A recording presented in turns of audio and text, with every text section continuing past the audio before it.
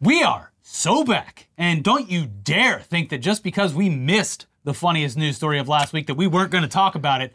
Because while we were off touring our nation's capital and listening to politicians struggle to understand why young people don't like or trust them, third party candidate for president Robert F. Kennedy Jr. admitted that he was diagnosed with brain worms That's real. and that the worm used the inside of his skull as an all you can eat buffet. And that uh, actually no one should worry because his brainworms won't have an effect on his ability to govern if he were to be elected president of the United States. Have no fear, everyone. My brainworms have not affected my ability to govern. Okay. Luckily for him and all of the and all of us, RFK Jr. will never be president. But it's still very funny that this is a story that he had to get out in front of before it was exposed by one of his political opponents. Kristi Noem has killing her dog, Robert F. Kennedy Jr. has his brain worms, and it's only going to get crazier from here. And yes, we are going to talk about the latest Orca attack, but first, just sit tight and let us get this out of the way first. We are so back. Mm-hmm. So the brain worms are definitely the most ridiculous medical issue that RFK has been dealing with. Not his only issue, but the most ridiculous one. And clearly, it's the one getting all the attention. But alongside his brain worm diagnosis, there were a few other issues that seemed to be as important as a parasite making itself at home in his noggin. At least when it comes to ruling the United States of America, which again, he never will, but it's still a factor. The brainworms would certainly explain a lot, though. Yeah. These revelations came from an interview between the candidate and the New York Times, who also reviewed a deposition from way, way back where he went into detail about his health over the years, including the diagnosis behind his hoarse and gravelly voice, and the fact that he apparently gave himself mercury poisoning because he was eating what must have been an ungodly amount of fish. yeah. The man's part orca. Well, I mean, say what you want, but he apparently has eaten enough fish that he can now communicate with them. Or Yep. at the very least, the orcas are like, damn, we thought we were devouring the ocean. The only other person I've heard of this happening to was Jeremy Piven, like 15 years ago. And it was widely assumed that he was simply uh, making an excuse for why, for like backing out of a Broadway play where none of his co-stars liked him. Well, But he's like, yeah, you know, I eat a lot of sushi. you, you move next to a really good sushi place, and the next thing you know, you got mercury poisoning. Yeah, It happens. that's that's the Kennedy, the Kennedy body. Kennedy's and brain stuff do not mix. JFK famously just the most fucked up body anyone his age has ever had. And then they, speaking of, well, he, he obviously got brained, but uh, speaking of that, they, they gave, it was, was his sister got the, uh, She got the the ice pick. yeah, the ice pick in the skull. in the frontal lobe. Mm-hmm. Yeah, a lot of a lot of stuff happening to those Kennedy's bodies. Yeah. But here's more from the New York Times' recent article. In 2010, Robert F. Kennedy Jr. was experiencing memory loss and mental fogginess so severe that a friend grew concerned that he might have a brain tumor. Several doctors noticed a dark spot on the younger Mr. Kennedy's brain scans and concluded that he had a tumor, he said in a 2012 deposition reviewed by the New York Times. Mr. Kennedy was immediately scheduled for a procedure at Duke University Medical Center by the same surgeon who had operated on his uncle, he said. While packing for the trip, he received a call from a doctor at New York Presbyterian Hospital who had a different opinion. Mr. Kennedy, he believed, had a dead parasite in his head. The doctor believed that the abnormality seen on his scans was caused by a worm that got into my brain and ate a portion of it and then died, Mr. Kennedy said in the deposition.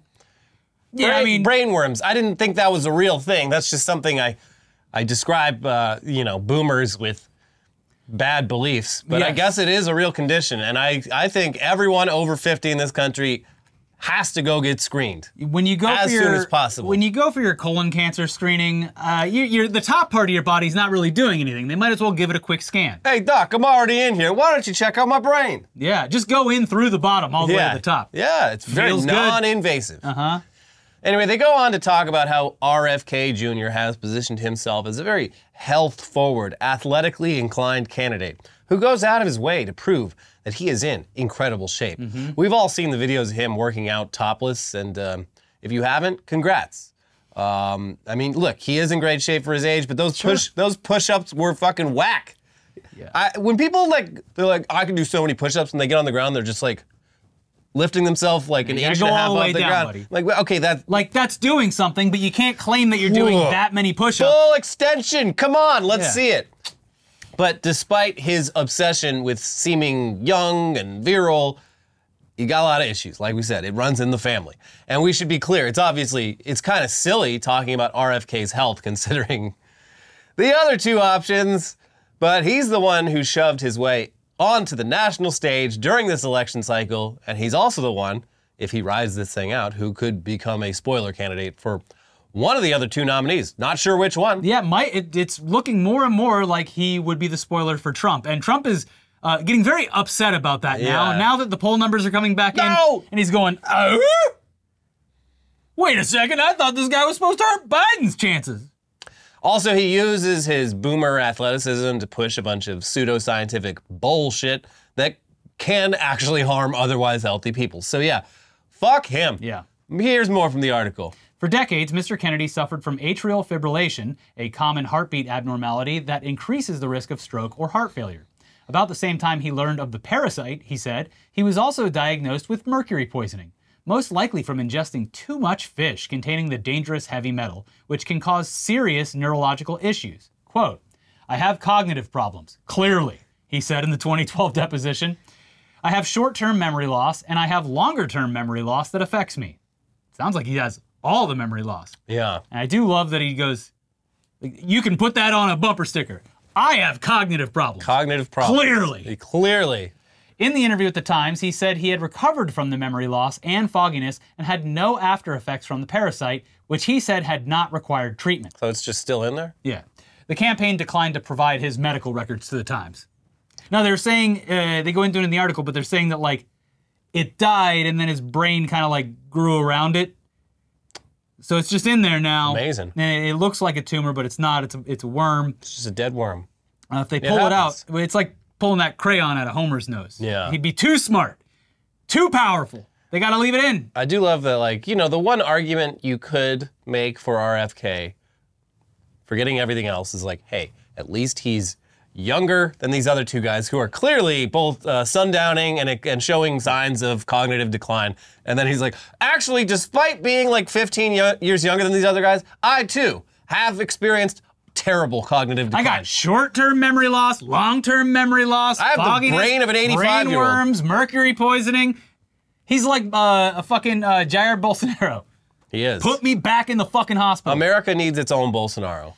Uh, regarding the brainworms more specifically, doctors ultimately concluded that the cyst they saw on scans contained the remains of a parasite. Mr. Kennedy said that he did not know the type of parasite or where he might have contracted it, though he suspected it might have been during a trip through South Asia. Okay, Was he sticking his nose in poop? just snorting river water. Yeah. Get in there! I want those superpowers everyone's always talking about. Or or maybe uh, maybe he just went on an international trip without getting all the proper vaccines that you're supposed to fucking get. Well, because he's would- an anti-vaxxer. That would certainly make a lot of sense, wouldn't it, Elliot? when you travel internationally and they're like, hey, they have bugs that carry diseases that we don't have here, so you might want to get vaccinated beforehand. No, I don't think I will. Not for me, thanks. They also add that it was very unlikely that the worm actually ate his brain. Which is weird because he's the one that admitted that. Yeah. He's like, yeah, it got in there and started eating my brain. just munching around. And everyone's like, the experts are like, no, sir. You ever you ever take a bite of an apple and there's just all sorts of tunnels in there? Yeah, that's what that's my- pretty much my brain. I love someone did art last week of the fucking worm from Richard, I guess Richard Scarry, the worm Oh, yeah, Richard yeah. Scarry, uh, driving him around. The window was his forehead. Yeah. Fantastic work, everyone. Uh, but yeah, I guess I guess it didn't eat his brain. Mm-hmm. Okay, New York Times. It was probably just surviving off of nutrients that were around it in the. And that's that that's eating. I think that's eating. Yeah. So when it dies, it can cause issues like inflammation, and it will definitely appear as though you have a tumor, but it, it's unlikely to cause further issues. they did point out, however, that many of his cognitive issues could have come from the mercury poisoning. Mr. Kennedy said he was then subsisting on a diet heavy on predatory fish, notably tuna and perch, both known to have elevated mercury levels. In the interview with The Times, he said that he had experienced severe brain fog and had trouble retrieving words. Uh, he went in for a blood test and said the test showed his mercury levels were 10 times what the Environmental Protection Agency considers safe. In the interview, Mr. Kennedy said he was certain his diet had caused the poisoning. I love tuna fish sandwiches. I ate them all the time. He said, "Oh, he's not even. It's not even sushi. He's just eating fucking tuna That's fish a lot sandwiches." of tuna fish Yeah, I think you sandwiches. might have too much tuna, sir. That's a little bit too much tuna. It is. And I, I don't understand how his toe survived this because it sounds like he would have had the case of the king's disease. Yeah. Yeah. I got gout. Ugh. Cheryl, rub my feet. Uh, he also spoke about his heart issues, as well as contracting hepatitis C from intravenous drug use in his youth. And of course, the spasmodic dysphonia that causes his voice to sound strained. Uh, so going back to that, like it is, it does seem like the brainworms thing was a very funny package to throw all this other stuff in that Yeah. would get called out on the campaign trail. Like, oh, you did, uh, you know, injectionable drugs. Uh, just get it all out there. Yeah. Also, like within the uh, testimony that they were talking about, I guess it was like during a divorce from his other wife, and it was, Was it the one that killed herself afterwards? no, I think this was his second wife. A different wife. uh, who was like i- he ruined his ability to make money by getting a neurological disease that hurt his voice. So uh, I don't know how this guy's gonna keep making money. You gotta go. Damn. I uh, rest my case. His campaign, on the other hand, they heavily leaned into that brainworms thing because they know that it's going to get a bunch of attention. And he said in an official tweet, I offer to eat five more brainworms and still beat President Trump and President Biden in a debate. So, yeah, I mean, cool. Good to know that our current options for president of the United States are A, an elderly man who is ruining his chances at being elected by helping to perpetuate a genocide, B, an elderly man who is a criminal fascist and only wants to regain power so that he can avoid jail time and sell out the country to line his own pockets, and now C, an elderly man who has literal fucking brainworms and thinks that vaccines cause autism. So, what a country! USA. I'm waving that flag. Mm-hmm. Saw a lot of that flag this week, and I, so many people, so many people are like, "Oh God, you go to DC and you just feel so patriotic. You feel connected to your country." And uh, I, I'm happy to happy to report I didn't feel fucking shit. Like this place exists in a bubble that Yeah. of reality that doesn't exist anywhere else in the country. I, it's a lovely. The economy's doing great. Why is no one talking about it? It's a lovely town, but also objectively probably the most evil place on the face of the earth. There are just Hitler particles emanating out of every surface. But back to the news, let's briefly set aside the politics and talk about something we can all agree on. yeah, Orcas wrecking shit, that's cool. we love it. We like when orcas, Destroy things. they, they're like, hey, wait, I'm huge. I don't have to put up with this shit. yeah, I'm gonna Boom. sink your literal 50 foot yacht. Yeah, and folks, it happened again. There was a bit of a winter lull, but they're back. Maybe it has something to do with the changing the seasons. Feels like it's been a little while since we've heard from our good friends, the orcas. But they are back, and they're better than ever, having successfully sunk a yacht in the Strait of Gibraltar off the coast of Spain. Wait, I know that song because it happened all last summer. It was the song of last summer, and it's back. Do I do I hear music? Ooh, yep, Yeah, that's that's those, beautiful whale song. Yeah, the, the orcas sound, and they are coming now that uh, it's summertime. They are ready to fuck shit up. Yeah, water's warm. it's get time to in. party.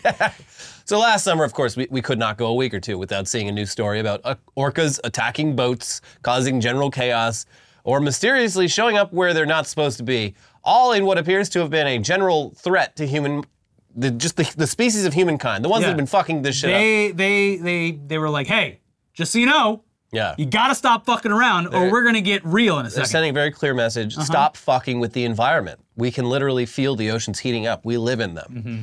We speak Orca. They told us that's what they've been saying. That's why they've become so fierce. So um, there you go. Still, though, the Orca attacks seemed to calm down in recent months, but that's probably because they decided to regroup and strategize.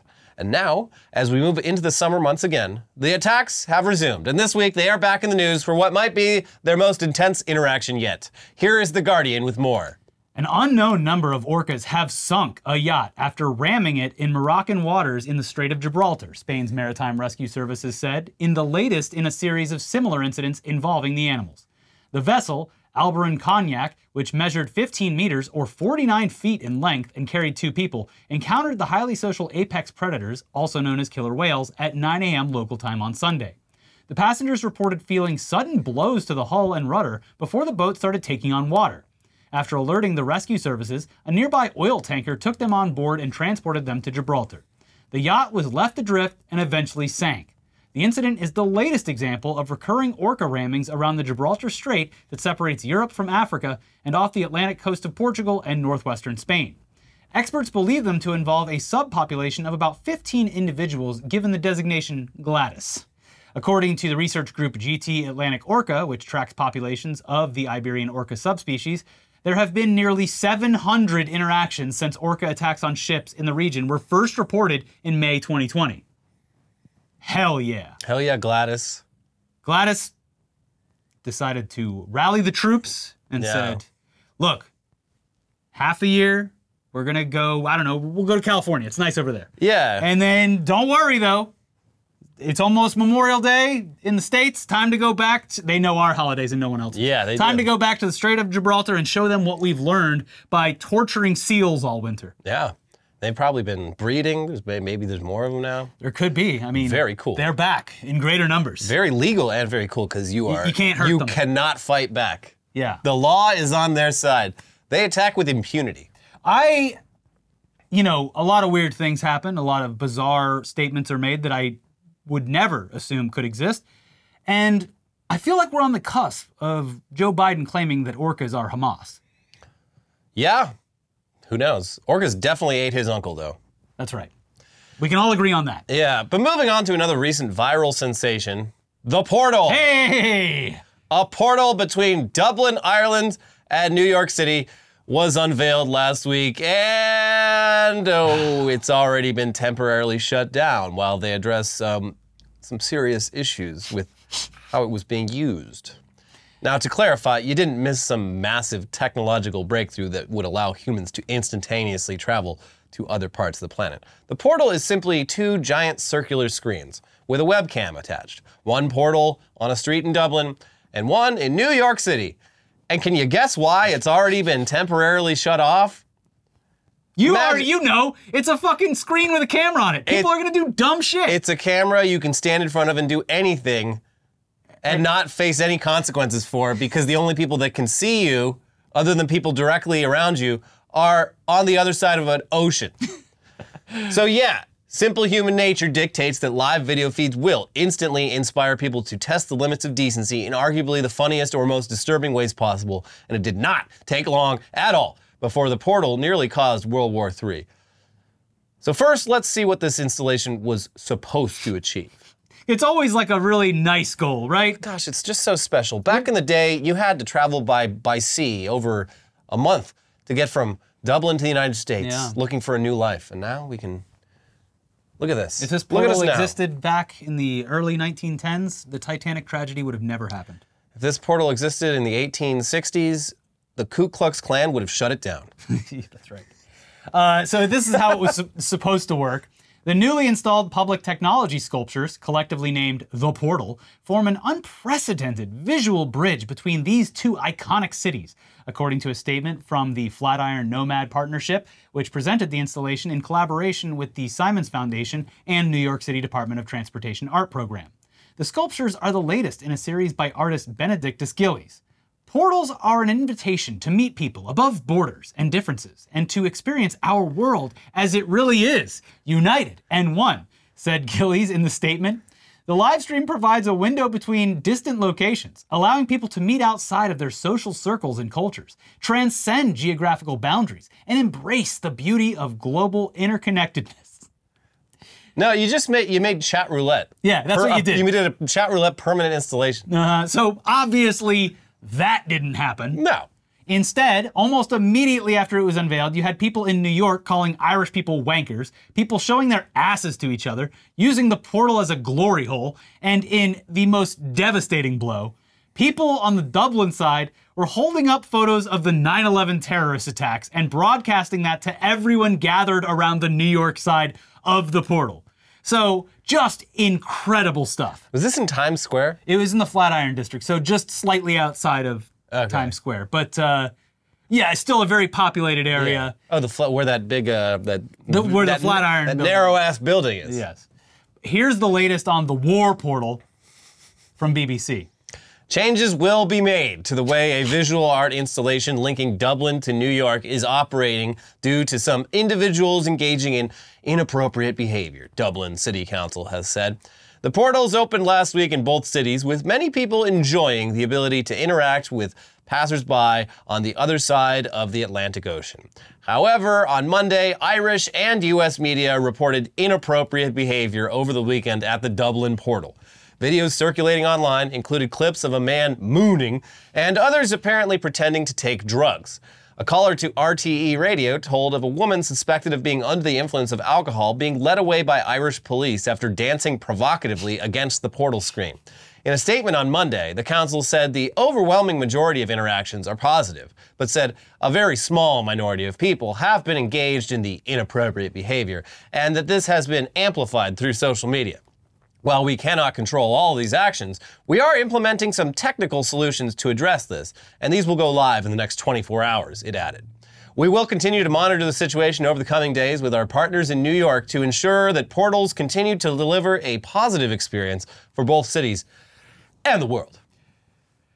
I don't know what these technical uh, updates are going to be, but I can't imagine them going seamlessly. I it's still going to be people whipping their dicks out, mooning it, trying to have sex with it, running into it, and uh, you know they kind of got us. Like, Yeah. there's not much you could show to the Irish side that would piss them off. Like, with I guess some images from the Troubles, but like, You could wave a British flag. They wouldn't like that. yeah, I guess so. But I some of them there would be like, okay, whatever. But the 9/11, everyone is just like, hey, fuck you. Yeah. Only we can make fun of that. It was really funny putting this in America. People just seem to forget that um, we're really not the most popular country in the world. No. Especially just like, you know, on a personal basis, you, you know, you meet you meet someone from America or you meet someone from another country, like, hey, Yeah, well, pretty fun. cool. But as a group, we're not very well liked. No. And you are giving people on the other side of the world, or uh, on the other side of the Atlantic Ocean, the opportunity to say or do anything in our presence, and we can't fight back. Yeah. What did you think was going to happen? You know, and last time the Irish infiltrated New York, it didn't go so well either. No, they had those gangs. the gangs of New York. Uh, so the council has not specified what technical changes will actually be made, but uh, you know, I'm not holding my breath for anything substantial. It's what are they going to do? Black it out when someone shows images of 9/11 again? They'll have a one of America's trained elementary school teachers with a folder. Anytime something on screen, they cover it up with the folder. They the cover folder. everyone's Yeah. eyes. no. now I was in New York this past weekend, and I kind of wanted to see it in person, but I knew that I would feel that call of the void. And I, I would just end up like Naruto running directly into this thing at full speed, attempting to warp myself into Ireland. Oh, if only. I knew it wouldn't work, but uh, my adult brain did kick in, and I realized I would probably just end up knocking the portal over and inadvertently killing a small child. So I went for a slice of pizza instead. Yeah, that's that's better use of your time, I think. Yeah. All right, we do have more news coming up for you in just a second, including Donald Trump doing something stupid and Hillary Clinton doing something stupid. What year is it? Stay tuned to find out what year it is in a second. But first, let's thank today's sponsor. What year do you think it is? Today's sponsor. The orcas are attacking. Yeah. Hillary's on camera. Trump's saying dumb shit. The Irish are at it again. Yeah, who's to say? Could be any year. But let's thank today's sponsor in the meantime, and that is Henson Shaving. Believe it or not, I actually remembered to shave this morning, so that makes me an expert. This is maybe the first time we've had a Henson ad read where I actually shaved the morning that it happened. Good. Uh, and uh, Henson is the best shave that you can find, especially when you consider price and sustainability. That's right. Henson Shaving is a family owned aerospace parts manufacturer that has made parts for the International Space Station and Mars rover. And now they're bringing precision engineering to your shaving experience. Razor blades are like diving boards. The longer the board, the more wobble, and the more wobble, the more nicks, cuts, and scrapes. A bad shave isn't a blade problem, it's an extension problem. By using aerospace grade CNC machines, Henson makes metal razors that extend just 0.0013 inches, which is less than the thickness of a human hair. That means a secure and stable blade with a vibration free shave. But wait, it gets better. The razor has built in channels to evacuate hair and cream, which makes clogging virtually impossible. Seriously, Henson Shaving wants the best razor, not the best razor business. That means no plastic, no subscriptions, no proprietary blades, and no planned obsolescence. The Henson razor works with standard dual edge blades to give you that old school shave with the benefits of new school tech. Once you own a Henson razor, it's only about 3 to $5 per year to replace the blades.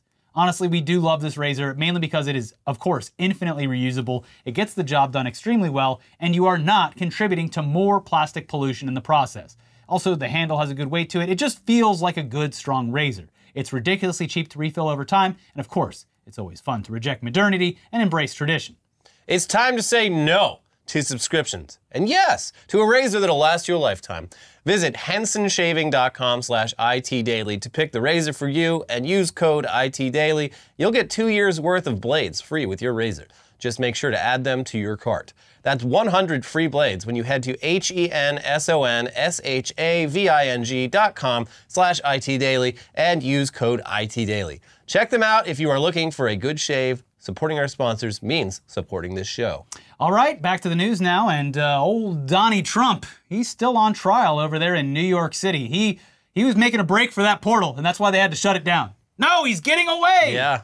No extradition. I, I don't know. Do they have extradition? Well, if you get caught in the portal, if the, you're in a tug of war between two realms, it's a very scary. If you get caught in the portal. It's like that Stephen King story where the kid uh, chooses not to go to sleep Mm. during the teleportation and ends up, uh, spoiler alert, spending like 10,000 years uh, in the void just being tortured. Was that Langoliers or no? No, that That's the was. plane one, uh, Fuck, I don't remember the title of it. It's a good story. I'm sorry I spoiled it. Well, Trump would run and jump into this thing, and then he'd get stuck halfway through. Longer than you think, Barrett. Longer than you think. His little feetsies would be wagging on one side, his hands going on the other. Oh, Yeah. oh, my very wide waistline has foiled me again. So yes, uh, his trial is moving right along, and recent testimony included statements from Stormy Daniels and also Trump's former fixer, Michael Cohen. Most of the stuff that's being shared, it's already known. Though in the case of Stormy Daniels, there appears to have been a few things that were said that probably shouldn't have been. She spoke about a bunch of weird sex shit with Trump, which really doesn't have much to do with the actual case itself, and even the judge admitted it shouldn't have been said in court. But as Merchan pointed out at the time, it is up to Trump's legal team to object to testimony while it is happening, and they did not. Instead, they waited until afterwards and then asked for a mistrial, which the judge did not grant for the reasons that we just explained. yeah, no, you, you had your chance. Basically, yeah, they tried to file for a mistrial because they failed to object to testimony that wasn't pertinent to the case. And he was like, it is your job to fucking object. So, no, you can't just sit there and wait for something to happen. That's a hell of a legal strategy. though. They're trying everything. Every, they're, they're setting new precedents all the time. You don't understand, Your Honor. I'm so bad at my job that my client didn't get a fair trial. Yeah, we, we have to do this over. So, cut to Monday of this week. We got Michael Cohen, a real pit bull. yeah, the pit bull on stand. Yeah, women love it. Michael mm-hmm. Cohen on the stand, and he reiterated the fact that Donald Trump was indeed involved in all aspects of the hush money deal, that it was done because of the 2016 election, and that Trump was the one who ordered the payout. Uh, Also, it appears as though Trump is attempting to sidestep the gag order placed on him by Judge Merchan, yet again, by having loyalists from the Republican Party, Ohio's J.D. Vance and Alabama's Tommy Tuberville, join him in court and then represent him publicly through press conferences and media appearances. Yep, he got two of his favorite sycophants out there to say I, exactly I didn't what say anything. That was Hey, just them. It's these guys. I don't know where they heard that. Wasn't me. They said some very nasty things, didn't they, folks? But they're all Very true. nasty, but who knows? I think I, I think I agree with them. A lot of people are saying it's true. So Vance straight up attacked the judge's family. Tuberville questioned whether or not the jury members were true Americans, and then got really sad about the fact that they call him Mr. Trump in court and not President Trump. First of all, I'm disappointed in the courtroom. I'm hearing Mr. Trump, Mr. Trump. He is former President Trump. Give him some respect. I mean, that's what that place is in there. It's no respect. yeah, he then licked Trump's shoes so clean that they sparkled. Yeah. And barked like a dog on all fours. and then Kristi Noem came and did the hard thing. She put him down. Took him down to the gravel pit. As for Trump himself, uh, we'll get to the bizarre Hannibal Lecter, Hannibal This Lecter is quote. I don't know how this man manages to top himself. Like uh, you figure after eight years to be like, okay, yeah, he's he's weird in like a hilarious way, but like, hey, what more could he could he do Yeah. or say? And We love him. We love him, don't we, folks? what did he say? I'm having a friend for dinner. he's a cannibal. So we'll, we'll get to that. But one of the funniest lies that Trump uh, perpetuated recently was that he had a crowd of 100,000 people, or sorry, Patriots. 100,000 patriots during his New Jersey rally uh, this weekend. And obviously that's not true. But how did he come up with that number? Well, over the weekend, Roger Stone shared an image of a just a, a massive crowd gathered for something. But he claimed that it was Trump's crowd at a rally in Wildwood, New Jersey, tweeting, Yeah, New Jersey is in play for at real Donald Trump. Could Joe Biden draw a crowd like this? And then he attached the photograph, which is absolutely not New Jersey. And we don't understand how anyone would assume that it was New Jersey. The photo is actually from a Rod Stewart concert in Rio de Janeiro nearly 30 years ago. Nah, they got palm trees in in uh, New Jersey. They have love- massive green mountains that extend all the way to the shore. Yep. I mean, yes, just looking at the photo, anyone who has been to New Jersey, seen New Jersey, heard about New Jersey would know that that was not New Jersey. Anyways, at that massive rally in New Jersey, Trump went on a completely nonsensical rant that included a reference to the great and wonderful man. You know him. You love him. Let's get him out here on stage. Wheel him out. America's sweetheart. Yes. I'm- No, no, no. Take that mask off. he just wants a little nibble. I'm of course talking about everyone's favorite cannibal, Hannibal Lecter. Hannibal the cannibal. That's what I call him, Hannibal the cannibal. They tried to lock him away, so he took that security guard, he ripped his face off, and he wore that, that face as his own. and that's what Joe Biden's trying to do to me. And all of you, I'm just standing in their way. You know what he did? He silenced the lambs. But I'll never let that happen to you. The lambs, they're so loud, and Hannibal, he's like, no, no. shh. we love him, don't we, folks? Here you go. Silence of the Lamb. Has anyone ever seen a Silence of the Lambs? The late, great Hannibal Lecter is a wonderful man. He oftentimes would have a friend for dinner. Remember the last scene? Excuse me, I'm about to have a friend for dinner as this poor doctor walked by. I'm about to have a friend for dinner, but Hannibal Lecter, congratulations, the late, great Hannibal Lecter. Not to be outdone, though, Hillary Clinton once again shoved her way into, Oh, good. into the national conversation to explicitly tell an entire generation of voters that they are stupid, ignorant, and that they have no idea what they're talking about, which is very rich coming from a woman who lost the easiest election in American history and can't even operate a subway turnstile. During an appearance on MSNBC's Morning Joe, Clinton was asked about the protests that have been happening on college campuses around the country. And her response was honestly just dismissive and rude. Yeah, not really helpful Yeah, great. in any way. Of course, great timing too, especially Yeah. when uh, Joe Biden's poll numbers are the worst they've ever been. Biden's in trouble. You know what he needs? You know who can give him the bump that he needs? Everyone's favorite former presidential candidate, Hillary Clinton. Hey, you're all stupid. They really they are in this crazy bubble. They don't know how much your average person at the very least just doesn't want to hear from Hillary Clinton. Yeah, yeah. oh no, we're sinking. Time to wheel her out. Yeah. Everybody's favorite. She's gonna tell them to Pokemon go to the polls. Uh, she didn't do that. In fact, she just called all of these literal fucking students morons. Yeah. They don't know uh, very much at all about the history of the Middle East, or frankly, about history um, in many areas uh, of the world, including in our own country. All right, Elliot. I don't remember asking you a goddamn thing. Thank you. Now, in addition to that, the Biden administration admitted on Friday of last week that, yeah, okay, Israel probably violated international humanitarian law, but we're not going to do anything about it. Um, certainly makes it fucking infuriating to vote in this year's election. Or not vote. But speaking of this year's election, it's almost pointless to talk about it at this point because she's absolutely not getting the gig. I don't know. But Kristi Noem is back in the news after admitting to killing her 14 month old dog and also maybe meeting with North Korean leader Kim Jong un Maybe. for some reason. Possibly. Yeah. Uh, pretty much everyone was like, that never happened, and there's no record of her like being there. Like, You would know. yeah. Th- that- this would be huge Kim. Jong Un does not meet with people. That's not a thing They- that happens. No matter how long ago it was, someone would be like, oh, the governor of South Dakota is meeting with the leader of North Korea yeah, right it, now. it- there's like only maybe like two times in the last like 10 years where it could have possibly happened. They were very high profile events. Yeah, There was photos and videos. One of them was Trump saluting Yeah. the generals from North Korea. So we would have seen it or heard about it. But unfortunately uh, for Kristi Noem, and fortunately for everyone else living in these areas, Kristi Noem, the governor of South Dakota, has been banned from entering certain areas of her state by local tribes.